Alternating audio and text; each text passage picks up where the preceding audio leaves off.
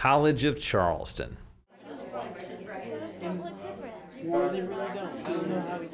The main goal of uh, this project uh, is to study thermal fluctuations for two different systems, uh, binary mixture uh, in, on Earth and um, sulfur hexafluoride in microgravity and to compare uh, these experimental results um, against the theoretical models and uh, the simulations. We used um, programs in MATLAB to extract the quantitative statistical um, values that we want to look at. Our research can have a lot of important technological applications. Supercritical CO2 is used to decaffeinate coffee beans, extract hops for beer, and dry cleaning. In addition, in green chemistry, they've been using supercritical fluids to extract wanted products and impurities from solid substrates instead of using volatile organic compounds, so it really induces the environmental impact of chemistry. By understanding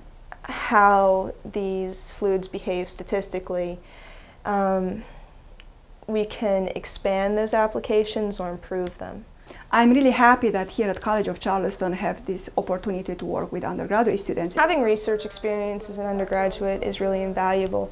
I mean, you learn methods of data analysis, how to read scientific journal articles really closely, and it also really motivates you as a student because you realize that things you're learning, you may be able to use those in your research because I don't have to worry about how I'm supposed to pay rent or how I'm supposed to eat, I can really focus on my research and it makes the research experience that much more valuable.